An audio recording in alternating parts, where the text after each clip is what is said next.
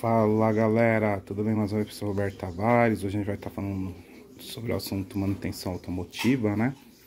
Quero estar compartilhando com vocês aí que eu fiz a troca aí do, das pastilhas de freio da, da Audi A4B6, ano 2002 aí, né? E algumas surpresas aí, né? Vamos ver qual que é.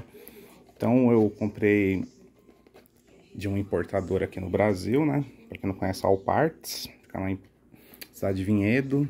Os caras têm um ótimo atendimento aí, mandaram a peça. Bem, foi bem rápido aí, né? Então essa daqui é a Techstar, né? Tá aqui, ó, qualidade, né? Quality. Aí é o seguinte, pessoal, é... essa Techstar, ela é fabricada lá na Romênia, tá made em România, mas é Romênia. Nós temos aqui a configuração da pastilha de freio traseira, né?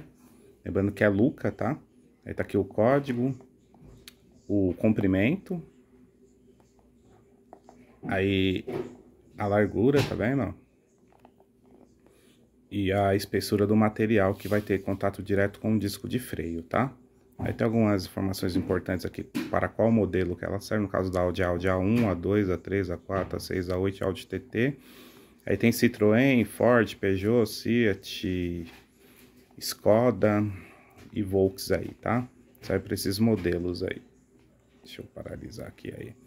É, tem uma situação que me surpreendeu aqui, pessoal. É, eu tô tentando localizar aqui qual é o tipo de material, porque se for material de cerâmica, vai valer a pena o valor que eu paguei, que é o valor, assim, realmente que é, que é cobrado aí no mercado, né? Agora, se não for, se for com material comum aí, aí não valeu a pena, porque, por exemplo, eu paguei 220 reais, né? Esse é um valor com material de cerâmica, né? Ele é mais duradouro, não, não, não promove sujeira, né? No sistema de freio, né? Entre outros benefícios. Agora, se for o comum, meu, sabe por quê?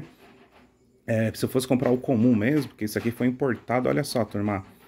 Quem, quem, quem importou aí, né? E quem dá garantia é a Cobrec, aqui do Brasil, né? Aí quem, quem importou aí foi essa TMD, né? Fiction do Brasil, Sociedade Anônima, CNPJ aí, inscrição estadual, tudo certinho, né? No Código do Consumidor, conforme manda a lei. E também a questão do Inmetro, que isso aí também foi submetido aos testes do Inmetro, né? Me surpreendeu, tá, pessoal? Não sabia que essa Texter aí era da Cobrec, né? É, mas essa dica aí, por quê? Tô falando da Cobrec. Você pode comprar a mesma configuração, se você quer uma pastilha comum, né? Eu, eu, tô, eu tentei localizar aqui, não achei, falando tipo de material, mas eu tô... Depois eu vou ligar lá na Alparts para perguntar se é de cerâmica, né? Porque se não for, não valeu a pena. Agora se for, valeu. Aí eu tava olhando aqui o manual, Vamos ver aqui, que ele vem com o manualzinho aqui, né? O tamanho. Aí aqui tem um QR Code. Se quem quiser dar uma olhada e pegar para olhar. Aí tem várias línguas aqui, eu achei aqui em português, né? Peraí que eu vou dar uma pausa aí. Bom, vamos lá. Então aqui tá em português.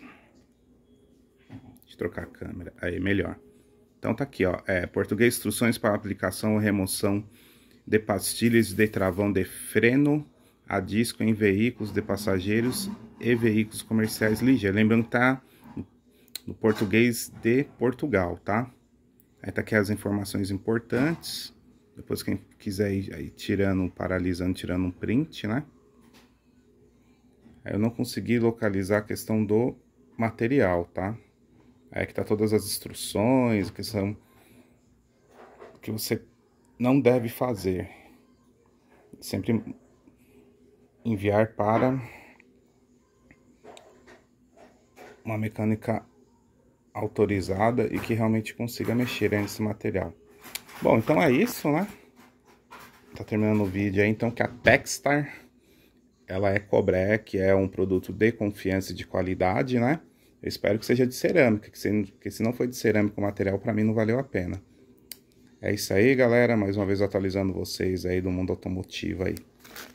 Até mais.